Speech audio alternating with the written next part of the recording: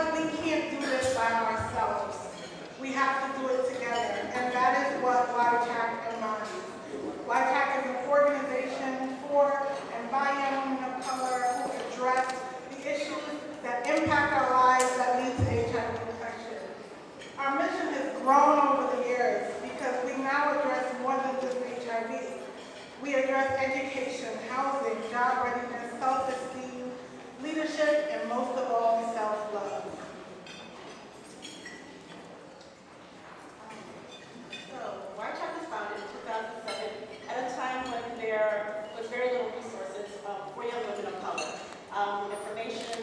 lacking, attention um, to young women of color was not being paid. Um, And the HIV rates among young women of color ages 13 to 29 were ridiculously high. Um, During a conversation with some colleagues, we knew that we had to work together to raise the conversation and visibility of what was happening. The goal of the organization is to empower young women and young men so that they can understand the power that they possess and having them harness it to make policy changes that affect them and their immediate communities.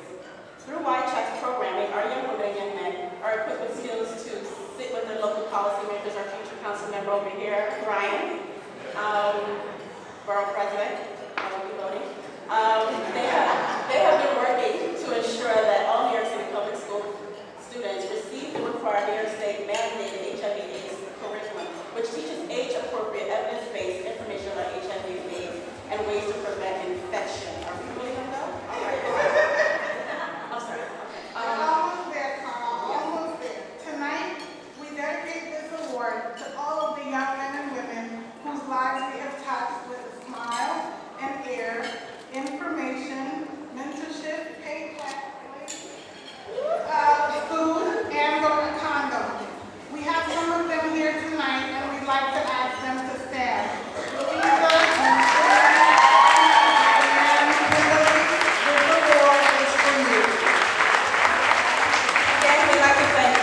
Carlin Chris